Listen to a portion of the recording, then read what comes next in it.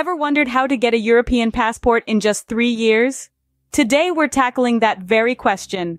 With the new laws in Germany, the dream of obtaining a European passport is closer than ever. Why is this significant? Well, having a European passport opens up a world of opportunities. It allows unrestricted travel and work within the European Union and access to a high standard of living, education and healthcare.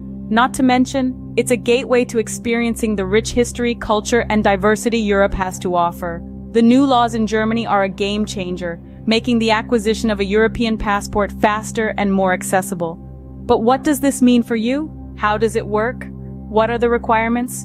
We know you have questions, and we're here to provide the answers. Stay tuned as we dive into the specifics of these new laws and how they might affect you.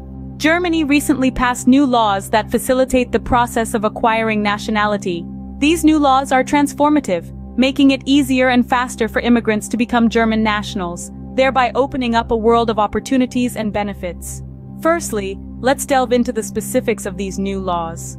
One of the most significant changes is the reduction in the required years of residency. Prior to this, immigrants had to reside in Germany for eight long years before they could apply for citizenship.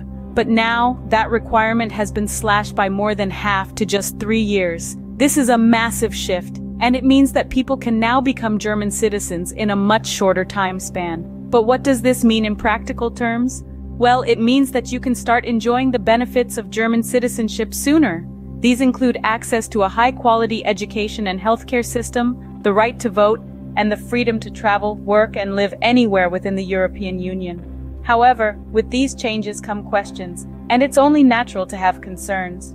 You might be wondering, what are the requirements? How can I prove my residency? Will I have to renounce my original citizenship?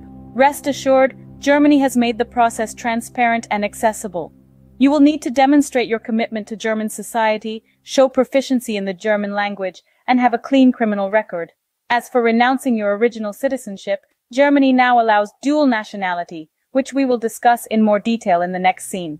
In summary, Germany's new laws for nationality have made it easier and quicker to become a German citizen. These laws have not only reduced the residency requirement, but also have made the process more transparent and accessible for immigrants. These changes could have significant implications for immigrants seeking to acquire German nationality.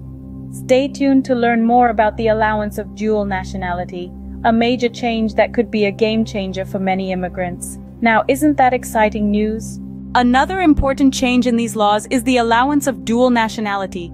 Now, what does dual nationality mean? In essence, it refers to the legal status wherein a person is a citizen of two countries at the same time. It's like having the best of both worlds, you see. This new change in German law is a game changer. It means that immigrants can now hold on to their original nationality while also becoming a citizen of Germany. This can be incredibly beneficial for those who have close ties to their home country, yet want to fully participate in German society. Imagine having the ability to vote in two different countries, or the ease of travel and work across borders. That's the power of dual nationality. It's not just about having two passports. It's about bridging cultures, expanding horizons, and creating a global identity. This change opens up new possibilities for immigrants in Germany, allowing them to maintain their original nationality while also becoming German citizens. Let's recap the key points we've discussed in this video. We started by highlighting the new laws in Germany, which have made it easier to acquire citizenship. The requirement for residency has now been reduced from eight years to just three, a substantial change that's likely to open up opportunities for many people. We also delved into the allowance of dual nationality, a new development that is a game changer for those who want to retain their original nationality while becoming a German citizen. This is a significant shift from Germany's previous stance on the issue, and it's great news for those who have been dreaming of becoming dual citizens. These changes in Germany's laws represent a more inclusive and open approach to nationality, one that acknowledges the value that diverse cultures bring to the country. These changes mark a significant shift in Germany's approach to nationality, potentially benefiting many immigrants. We hope this video has provided you with valuable information on this topic. Thank you for watching.